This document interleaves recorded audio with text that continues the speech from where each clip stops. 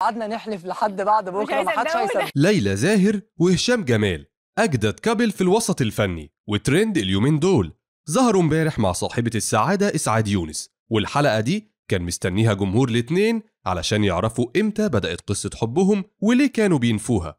خصوصا إن كان باين من زمان إنهم بيحبوا بعض. من أول ظهورهم في مسلسل في بيتنا روبوت سواء الجزء الأول أو التاني وكمان ظهورهم على ال social media مع بعض أو الأغنية اللي أخرجها هشام لليلى. المفاجأة بقى إن هشام وليلى أكدوا إن ما كانش في بينهم أي حاجة في الوقت ده فعلا وإن ابتدت مشاعرهم تتحرك تجاه بعض من فترة قريبة جدا. أما كل اللي قبل كده كانوا صحاب وإخوات وقالوا إن هم متأكدين إن الناس مش هتصدقهم بس هي دي الحقيقة. وفكرتهم إسعاد يونس بالحلقة اللي عملوها معاها من فترة وغنوا مع بعض أغنية رومانسية في البرنامج والناس وقتها قالوا بس دول مرتبطين. ورد هشام وليلى إن في الوقت ده كانوا فعلا أصحاب وبس وإن الجمهور حب وجودهم على الشاشة مع بعض ففسروا الأمور غلط. وكلنا عارفين إن أحمد زاهر كان رافض إن أي بنت من بناته تتجوز وأعلن الموضوع ده أكتر من مرة في البرامج.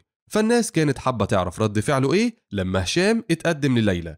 سألت إسعاد يونس هشام عن رد فعل أحمد زاهر فقال لها إحنا كنا متفقين نتقابل في النادي الأهلي ونقعد مع بعض شوية. وفعلا اتقابلنا. وقال له هشام فجأة قايل له طب وإحنا هنعمل إيه في موضوع ليلى ده؟ فاستغرب أحمد زاهر ورد قال لي الموضوع ده بدأ إمتى؟ فطلب هشام إيدها منه وساعتها استغرب أحمد زاهر فاعترف له هشام إن الموضوع لسه بادئ قريب مش من فترة ولا حاجة وقعدوا مع بعض يتكلموا اليوم كله ووافق أحمد زاهر.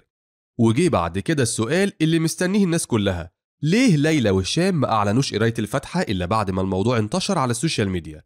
قال هشام إن الموضوع كان عائلي جدا ومجرد قراية فاتحة وهنعلن لما تيجي الخطوبة. وتفاجئ إن ليلى بتقول له إنها طلبت من مصممين الحفلات يعملوا لها ديكور للبيت.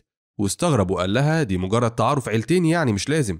فقالت له إن ده مجرد ديكور بسيط وخلاص. ولكن مصممين الديكور صوروا البيت ونزلوا الفيديوهات واللي كان فيها صورة أحمد زاهر وكمان مكتوب هشام وليلى. فالجمهور خمن على طول إن دي خطوبة هشام وليلى. وانتشر الموضوع واتعرف. فاضطروا إنهم يعلنوا ولكن حفلة خطوبتهم هتكون في الصيف. والسؤال التاني اللي سأله الجمهور هو ليه أول أغنية يعملوها بعد الخطوبة تكون أغنية حزينة؟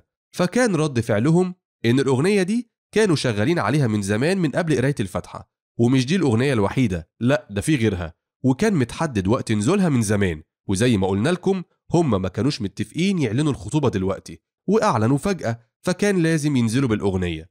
وكتبوا عليها إن الأغنية مش بتعبر عن حالتهم دلوقتي عشان الجمهور ما يفهمش غلط.